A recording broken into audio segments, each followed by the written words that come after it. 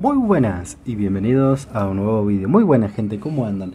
Bueno, en este caso voy a hablar sobre un trabajo que tengo que realizar en esta planta.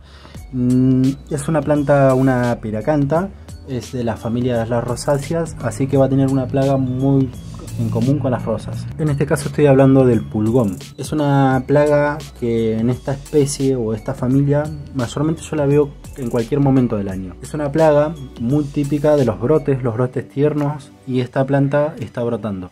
Aunque esté en verano, esta planta tuvo un problema muy grande. Yo no sé si ya viene enferma esta planta no se está dejando trabajar básicamente. Tendré que cambiar la manera de cortar las ramas o empezar a trabajarla como un seto, ya que cada vez que hago un trabajo brota bien y se llena de brotes por todos lados, a lo cual tengo que empezar a eliminar obviamente porque salen brotes hasta de donde no debería salir, donde tiene la corteza más vieja como acá, como pueden ver ahí. Este, este, problema que puede llegar a traer es que al tener tantos brotes por todos lados eh, me ha secado ramas. No sé si será a causa de que brota por todos lados y decide brotar por los lados que no hayan sido cortados, que eh, brota y por un lado y seca por el otro. Es muy raro. Eh, me ha pasado en esta rama que está aquí y la que estaba acá. Así que lo que estoy por ver es si este año cambio de vuelta la forma de trabajar, aunque la parte superior, miren, esta sería la primera, segunda, tercera, cuarta, la tercera y la cuarta rama están muy bien, las espaldas están muy bien, pero la primera y la segunda están malísimos. Así que decidí rehacerlas. Estas brotaciones que está teniendo ahora en verano me está trayendo este problema con el pulgón. El pulgón es muy fácil de eliminar con jabón potásico. En este caso yo uso este. No es por hacer publicidad, pero es este es de la marca Ecobambo y es eh, NIM con jabón potásico y canela. Es muy bueno para este tema. Elimina básicamente al pulgón completo. Mm, dos tratamientos, una semana y no tenés más pulgón. Hay otro problema en esta planta, que está teniendo cochinilla lapa. La cochinilla lapa, en este caso esta cochinilla es muy fácil de eliminar con un trapito con agua, pero ¿qué pasa? Al ser esta una especie rosácea, tiene púas y intento trabajar lo menos posible, o sea, una vez en otoño, una vez en primavera y algún pinzado durante el verano. Resto del año no me gusta tocarla mucho porque te pincha demasiado y duele. Así que ese tratamiento como que se ve un poco atrás. En este caso nosotros cuando cultivamos bonsai y tenemos un jardín que tiene huerta, intentamos de que todo el conjunto del cultivo sea orgánico. Muchas veces, en mi caso, eh, prefiero perder una planta en la huerta y dedicarme a otra cosa, cambiar el cultivo, porque a veces hay plagas que son muy difíciles de eliminar. En este caso, esta planta tiene conmigo dos años y obviamente no la voy a dejar que se muera. ¿Qué tengo que hacer? Eh, hay tratamientos para la cochinilla lapa o algodonosa, eh, orgánicos, pero muchas veces no son tan efectivos y yo prefiero utilizar eh, venenos químicos sistémicos.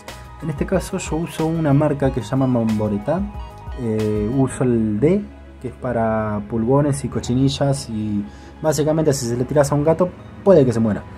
En este caso, este tratamiento se va a usar solo y exclusivamente, en mi caso, en árboles, porque los puedo mover a sectores donde yo pueda hacer el tratamiento y tirar agua, limpiar la zona y que la planta esté controlada y que no tenga ningún tipo de contacto, la fumigación contra otras plantas. ¿Qué quiero decir con esto? Este veneno que voy a usar yo en mi caso para controlar la plaga de la cochinilla algodonosa, aunque sé que es muy fácil, pero esta planta que si metes la mano acá te pinchas. Así que lo que voy a hacer ahora es separarla del resto, fumigar, podar, porque básicamente les muestro, miren.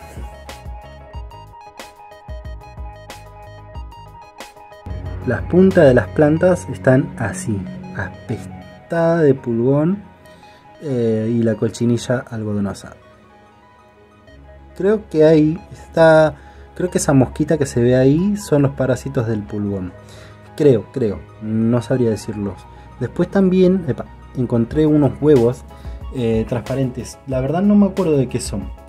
Eh, así que también por las dudas fumigo con esto. Y este es un detalle que le voy a decir y es algo de mi experiencia, ¿no? Muchas veces cuando nosotros cultivamos vamos a intentar de hacer un cultivo orgánico como es en mi caso, intentando de utilizar agua de lluvia, sustratos orgánicos, abonos orgánicos como es el humus, el compost, los abonos en pellets, abonos líquidos caseros, ácidos húmicos y demás abonos. En la forma de fumigar nuestras plantas tenemos mil maneras también, jabón potásico, NIM, que son como lo más clásico, tierra de diatomeas, eh, azufre agrícola, tenemos bueno, después mejunjes hechos, digamos, eh, purines, purines de ortiga, purines de cola de caballo para fungicida, infinidad de cosas.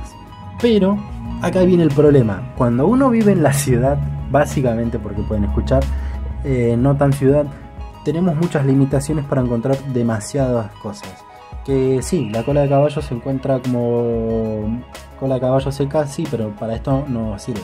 Eh, la ortiga se consigue en invierno, ahora estamos en verano. Que se puede usar eh, azufre agrícola, no tengo. Literalmente, pueden escuchar que hay mucho ruido. Estoy en una ciudad. Así que la cuestión es que terminamos utilizando abonos o... No abonos, perdón. Insecticidas sistémicos químicos. Que quiera decir que sean químicos no quiere que sean malos. Que quieran decir que sean sistémicos tampoco que sean malos pero sino su procedencia o su aplicación o sus efectos secundarios. Este mamboretá, como dije, tiene un, retraso que se recomienda no consumir el fruto de ese año y para plantas ornamentales, tomateras, lechugas, acelgas, berenjenas, es eliminar el primer fruto de la salida que tenga y si no, tratar a los 15 días de comer. Eh, problemas con las abejas, que puede matar abejas, así que se controla aislando a la planta a la hora de ser fumigada y después se vuelve a su zona de cultivo. Y así con todo esto se intenta de buscar el equilibrio entre este tema, ¿no? De orgánico e inorgánico. Muchas veces nos limitamos, básicamente nos limita el entorno, no poder comprar o no poder tener a mano ciertos productos. Así que cuando nosotros veamos ciertas plagas podemos darnos la libertad, si el cultivo nos permite, como en este caso que es un bonsai o un pre-bonsai, como lo quieran llamar, nos damos estas libertades y esto en el mundo del bonsai pasa mucho y es muy necesario. Recordemos que esta planta tiene dos años conmigo y seguramente unos 3-4 años más de vida, así que no es bueno sacrificarla o dejar que una plaga pueda generar este problema de secar ramas, que estoy pensando que la cochinilla lapa puede ser muy problemática porque siempre aparece con, este problema de, la, del pulgón. Así que estoy pensando que estas dos van bastante de la mano, por eso este insecticida tiene para conchonillas y para pulgones. Es este, miren. Gente va a decir, este está haciendo propaganda, pero bueno, no. es lo que uso. Este insecticida lo tengo hace dos años, que es este. Y me salió 45 pesos, cosas así. La cuestión es que, bueno, este es mi tratamiento, esta es mi forma de solucionar este problema. Yo sé que hay miles de formas más, pero es lo que tengo a mano, lo que me puedo permitir. Sé que medianamente va a ser negativo y lo voy a admitir porque esta planta tiene larvas de de San Antonio, como le decimos acá, o chinitas, creo que le dicen en Chile. La cuestión es esta. Esas larvas van a morir porque lamentablemente el mamboretal los va a matar, es un fulminante. También estoy viendo mucha hormiga, así que otro problema. Así que gente, no me queda otra.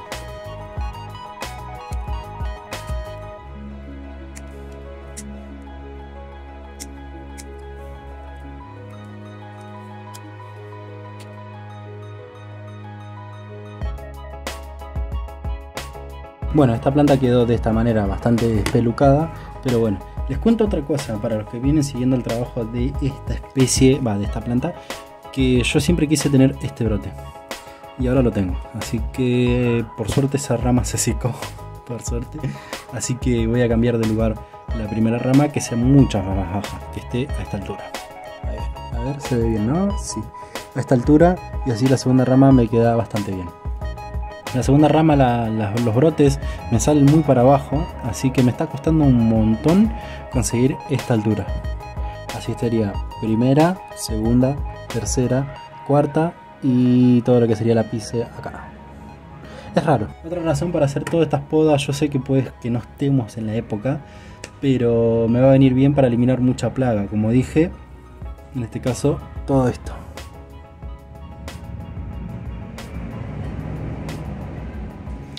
Recordemos muy bien que todo esto no se puede tirar a la compostera, sino que se tira al tacho basura, se prende fuego y listo. Esto es lo que se va a fumigar y nada más. Ahora sí.